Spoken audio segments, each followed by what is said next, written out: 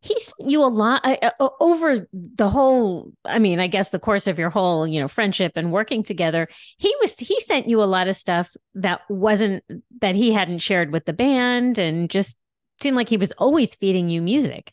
Yeah.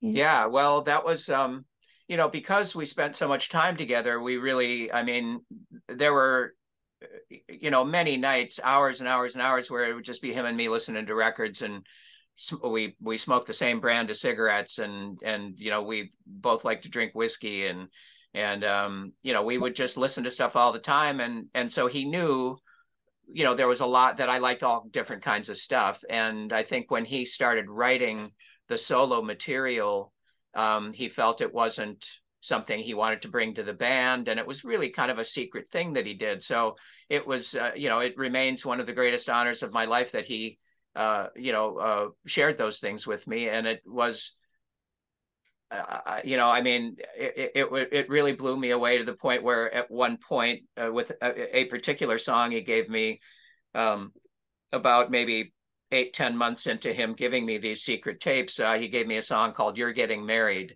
And I don't know if you know that one. We put it on as a bonus track on a reissue of Stink back in um, 2008, a CD reissue, and I guess it's on. Um, I guess it's on the Sorry Ma box that we did in 2021 too for Rhino. But anyway, um, that song when I heard it, it, it, it, it genuinely frightened me, and I really did think this might be too large a talent for me to work with. I might this might require somebody that has better, uh, I don't know, uh, managerial uh, uh, uh, qualities than I have. It really was shocking to me. Those those solo recordings of his to me were uh, breathtaking, and it showed that you know other side. And and that's why when we started making the first album and i thought there should be a single that led you know the charge. And i always thought you know t- first thing a band ought to do is put out a single with a cool picture sleeve and a non lp flip side. And so i said okay we got one song from the album. We'll use i'm in trouble b side i think paul you should really use one of those solo songs that would show to people you aren't a one trick pony. And he totally said, no way, man, that ain't the replacements. And I seriously thought that was an argument I was not going to win, but I just kept at it. I didn't, I didn't overdo it, but I just, I let him know at every appropriate opportunity that I thought that was the right move. And I think it was, it just showed him, you know, I mean, that's B side, If Only You Were Lonely is became before it was even really readily available. It'd only been on the seven inch and pre internet. Once the seven inch wasn't around, it just passed around from hand to hand on cassette and stuff we'd go do shows in places where uh, you know people would be singing along with every word of that song, and there was you couldn't buy that record. You know, was, so you know it was clearly a, a song that that uh, had an impact on you know people.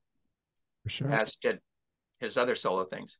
Yeah. Uh, do you think it was Bob and, and, Paul that were like Bob was like, this is this is the replacement. This is going to be the replacement sound, and so Paul was going in one direction and Bob was like, "No, we have to stay the course." Or what was what was the dynamic within the band? Well, I think as the song, you know, it's funny because Bob really took a shine to some of the more sophisticated stuff. I think a great example is Johnny's Gonna Die from the first album, because that was really the first ballad. You know, everything had been rockers up until that point. When he, we all went to see Gang War, uh, the the um, uh, you know Wayne Kramer, Johnny Thunders band that very short lived, and um, it was just kind of bad, kind of awful. Um, and and we tried desperately to get out the replacements on as an opening act, and Husker got them, and uh, they were a little further ahead, had a little more clout than the replacements did, and we were like, damn, you know. Mm-hmm. Uh, but uh, it was just as well. We went to the shows, and and Thunders was such a mess that you know, it really, I, it, I, I mean, I remember calling Paul the day after the show and I said, geez, that was kind of a sad show, wasn't it? And he said, yeah. And I said, so what have you been doing? He said, well, I got a new song. I said, what's it called? And he said, Johnny's going to die. And I was like, wow.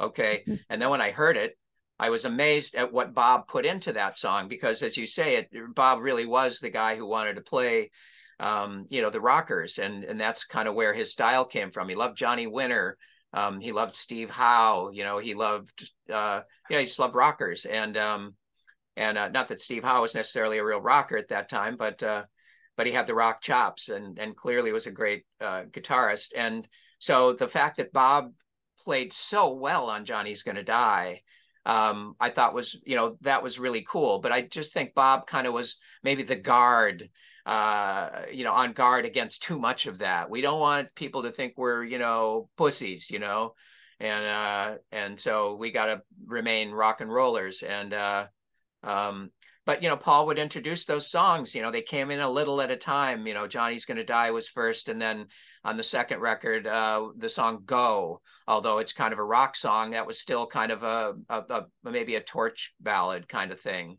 Uh, and then on the third album, of course, there was "Within Your Reach" um, and "Treatment Bound." And then on the fourth album, you know, there was uh, you know um, "Answering Machine" and uh, and and "Unsatisfied," and you know these were these were not straight ahead rockers, and you know so Bob liked some of those, but again, I think he didn't want too much of it. And uh, Paul's songs started to get more sophisticated, and Bob resisted, and then that was a big part of why he, you know, left the band.